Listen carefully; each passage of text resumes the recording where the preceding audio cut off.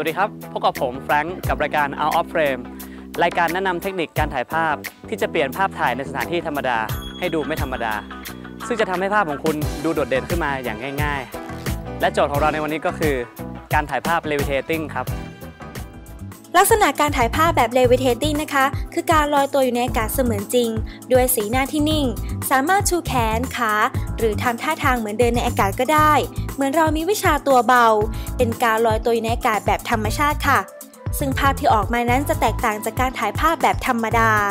โดยหลักการถ่ายภาพแบบ levitating มีวิธีหลักๆ ก็คือ เปิดโหมดไปที่ speed shutter แล้วเซตไว้ 200 ขึ้นไป เพื่อหยุดการเคลื่อนไหวของนางแบบเวลากระโดด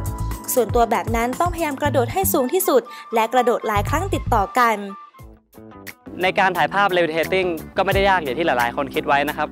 เพียงแค่มีกล้อง DSLR หรือกล้อง compact ก็ได้ และอาจจะเสริมด้วยขาตั้งกล้อง เพื่อเพิ่มคุณภาพของรูปขึ้นไปก็ได้ครับ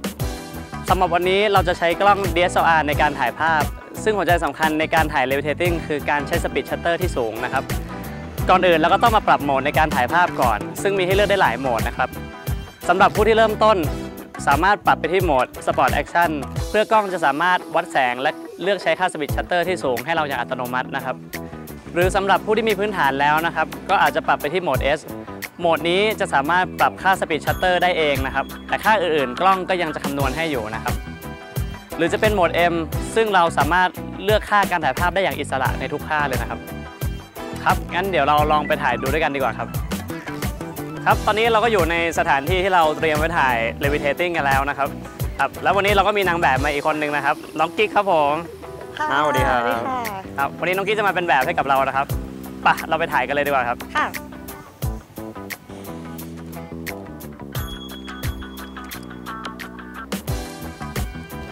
อ่าครับ ตอนนี้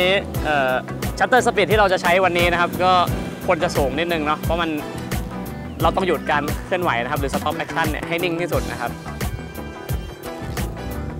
อ่าโอเค ขึ้นแล้วโอเค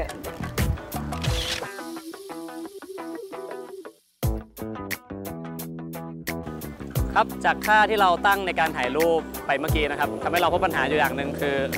เราไม่สามารถหยุดภาพนางแบบกลางอากาศได้นิ่งพอนะครับ เดี๋ยวเราจะลองแก้ปัญหาโดยการเพิ่มค่า speed shutter ดูนะครับ จาก 1ส่วน400 วินาที เป็น1ส่วนพันวินาทีดูนะครับ เดี๋ยวเรามาดูผลที่แตกต่างกันว่ามันจะเป็นยังไงแล้วกัน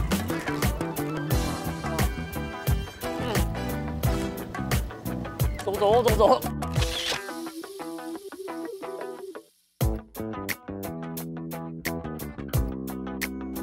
ครับ ตอนนี้เราเจอปัญหาอีกข้อหนึงแล้วครับก็คือ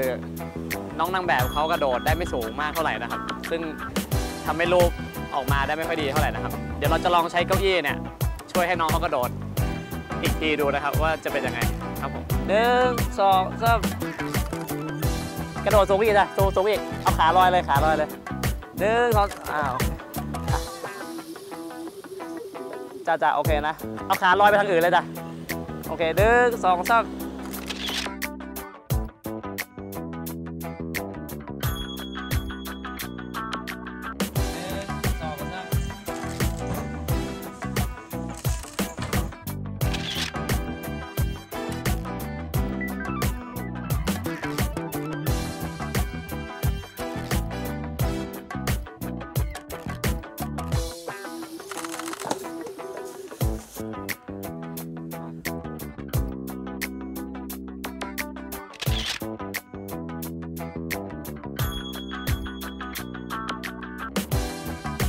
ครับเป็นไงบ้างครับน้องกิ๊กวันนี้ วันนี้สนุกมากเลยค่ะพี่แฟรงค์ท่านผู้ชมก็สามารถนำเทคนิคการถ่าย levitating ในวันนี้ไปใช้ได้นะครับ หากถ่ายมาแล้วก็อย่าลืมมาแชร์กันใน Facebook รายการนะครับ สัปดาห์หน้านั้นจะมีเทคนิคอะไรมาฝากกัน ก็ต้องรอติดตามชมสำหรับวันนี้ผมแฟรงค์น้องกิ๊กและก็รายการ Out of Frame ต้องขอลาไปก่อน สวัสดีครับครับน้องกิ๊กเดี๋ยวลองกระโดด จากตรงนี้ดูแล้วกันเนาะเดี๋ยวลง